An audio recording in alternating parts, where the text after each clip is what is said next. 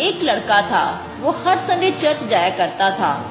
लेकिन चर्च जाता और उसको इस बात का बहुत दुख होता कि चर्च में लोग आपस में बातें करते हैं। प्रेयर करते हुए वो कोई फ़ोन पर लगा है, कोई मोबाइल यूज़ करते हुए बात कर रहा है और कोई आपस में बातें कर रहा है। तो जब चर्च खत्म हुआ तो उस वो अपने फादर से मिलता है और कहता है कि, फादर, मैं आज के बाद चर्च नहीं आऊँगा। उसका फादर उससे पूछता है कि आखिर बेटे, ऐसी क्या रीजन है कि तूने चर्च नहीं आना?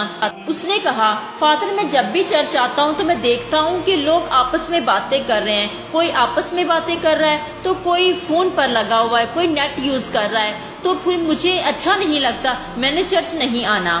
फादर ने उससे कहा, अगले संडे जब तुम आओ तो पहले मुझसे मिलना। इसके बाद तुमने चर्च में दुआ के लिए बैठना है।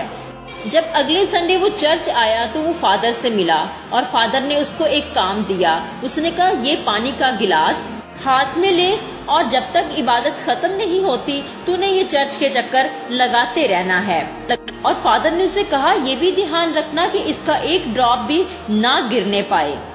और फिर जैसे ही इबादत शुरू होती है, वो अपने काम पर लग जाता है और चर्च के चार चक्कर लगाता है। इतने में इबादत का टाइम भी खत्म हो जाता है और जैसे ही वो अपने फादर के पास वापस लौटता है और फादर उससे पूछता है आज आपने देखा कि कितने लोग नेट यूज़ कर रहे थे या कितने फ़ोन पर बात कर रहे थे या आपस में बात कर रहे थे। उसने कहा, फादर, आपने तो मुझे ये काम सौंपा था कि मैं चर्च के चक्कर लगाऊँ और मेरा सारा ध्यान इसी पानी पर रहा ताकि ये नीचे गिरने ना पाए। इसलिए मुझे क्या पता भी कौन नेट यूज़ कर रहा था या नहीं कर रहा था। मैंने तो देखा ही नहीं। फादर ने उसे कहा, यही तो मैं भी समझाना चाहता हूँ कि अगर तू खुदावन के घर में आता है तो खुदावन की तरफ़ अपना ध्यान लगा। कौन क्या कर रहा है इस बात पर ध्यान ना दे।